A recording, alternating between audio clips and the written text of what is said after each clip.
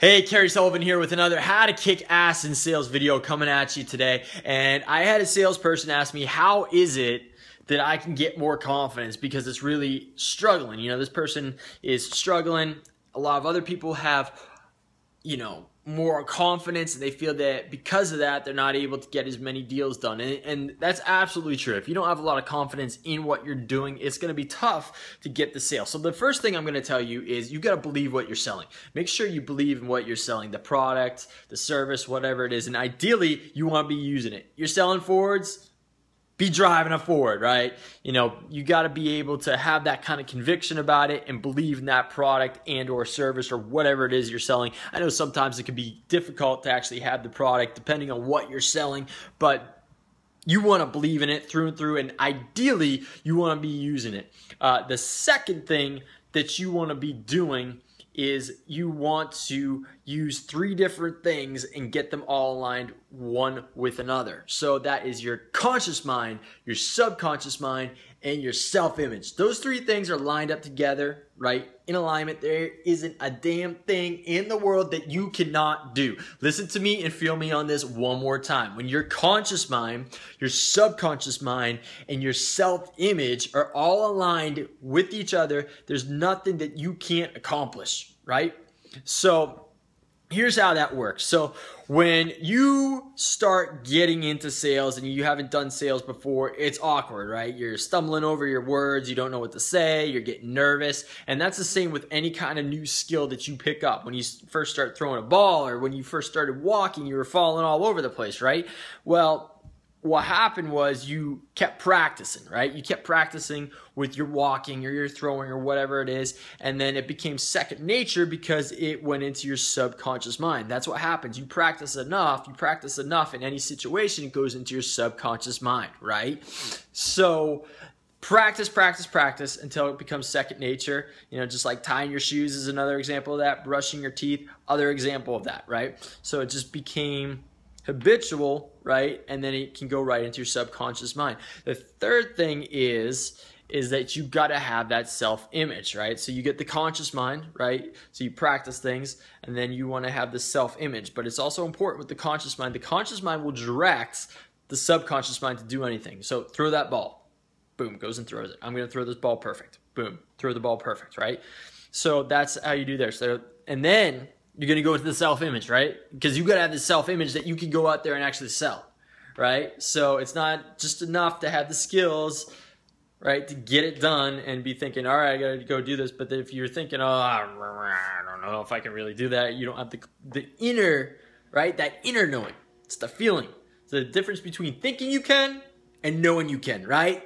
Morpheus from the Matrix said that. There's a difference. Let me repeat that one more time. Listen to me and feel me. There's a difference between thinking you can thinking you can and knowing you can, right? And that knowing comes like that's a, like a feeling, a deep down feeling. So, you know, athletes, great example of this. You know, when they get up there and then they're and they're in the, the top ones are in that pressure situation, they're not thinking or like, oh, I hope I make this shot or I hope I can throw this ball the right way. No, they know. They're like, give me the ball. I am making this, right? So it's the same thing within sales, right? You got to have that self image that you can, in fact, go out there and do that. So, how do you develop that, right? How do you get into that state right away? And you got to get it done, right? Because you go into that sales call or whatever it is, you got to be able to generate that feeling like that.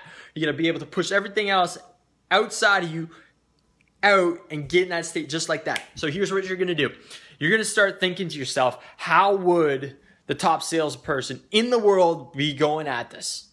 What would they do? So the first thing you're going to start thinking is what would they be thinking? What would the top salesperson in the world be thinking? They would be thinking, I've got this, I'm prepared for it. No matter what comes my way, I know I'm going to be able to get this deal done, right? So they're thinking and they're getting that that going. The next thing you're going to be asking yourself is how would they be holding their body?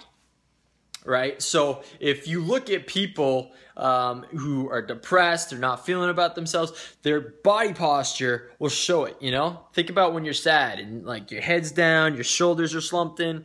You know, you're just not in a good state. So the top, but how would the top salesperson in the world be holding their body? Right? It'd be up, right?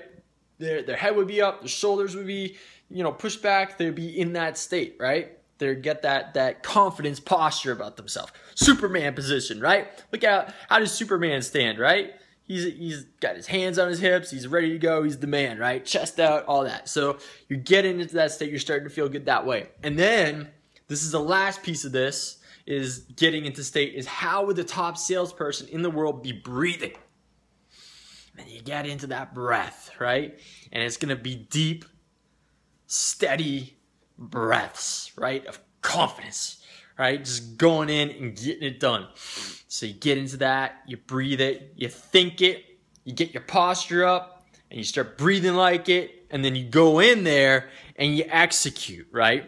So if any one of these things though is out of whack, or you're lacking in any one of the two, things are going to get messed up, right? There's some people out there who are super cocky and they're like, oh, I got this. I'm the man. I can do this. But they don't have the skills to get it done, right? They can't flip over to their subconscious mind and use their superior skills to get it done. They've got the self image, but they don't have the other goods. And then sometimes it's the other way around. People get, you know, the skills, right? They get the skills, but they don't have, but they don't have that self-image to go and get it done. Or sometimes they've got the skills and they've got the self-image to get it done, but the thoughts in their mind are going monkey mind. They're thinking about other things, man. They're thinking about the baseball game or what am I going to watch on TV or what am I going to do with my wife tonight? Whatever it may be, they're not directing their mind right? They're not getting laser sharp focus in and directing their mind, right? So that's how you do it. So, hey, let me tell you something. If you take everything I just utilized right there and told you about, that right there will make you millions of dollars. Millions and millions in selling, right? Because you get paid on performance, the sky's the limit. Make it billions. Why not, right? Set the sky high, Set the sky high. Set the limits high. Set the limits sky high. How's that? All right, that's it. That's how to kick ass sales. How to kick ass in sales. I'm getting all excited, missing words left and right here. So that is today's how to kick ass in sales video. I'll see you on the next video. Hey, if you like this, feel free to share it. Make any comments below. That is it. I am Kerry Sullivan, and I'll see you on the next video. Bye-bye.